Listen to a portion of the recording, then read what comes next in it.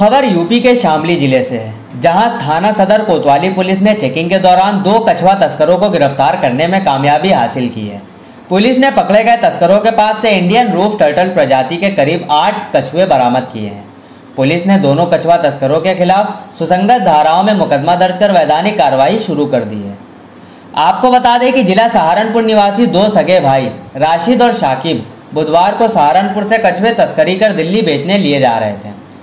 बताया जाता है कि जैसे ही दोनों कछुआ तस्कर भाई शहर कोतवाली क्षेत्र के रोडवेज़ बस स्टैंड पर पहुँचे तो पुलिस ने चेकिंग के दौरान सूचना के आधार पर दोनों कछुआ तस्करों को दबोच लिया।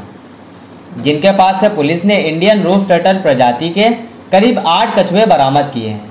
आरोपी तस्कर ने बताया कि उन्होंने ये कछुए सहारनपुर कचहरी के पास से खरीदे थे, जिन्हें शामली में एक महिला को दिया जाना था, जो कि पूजा में इस्तेमाल किए जाने थे। वहीं पुलिस के मुताबिक दोनों कछुआ तस्करों ने पूछताछ के दौरान बताया कि वे सहारनपुर से कम दामों में कछुए खरीदकर दिल्ली में बड़ी कीमतों में बेचकर अच्छा मुनाफा कमाते थे।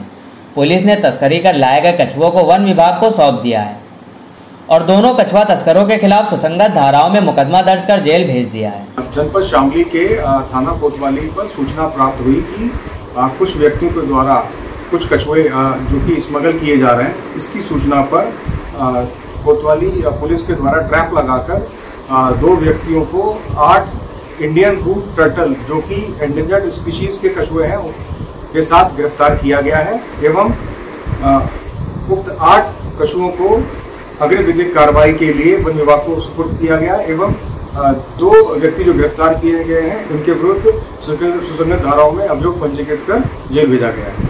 ब्यूरो रिपोर्ट, न्यूज़ अब भारत।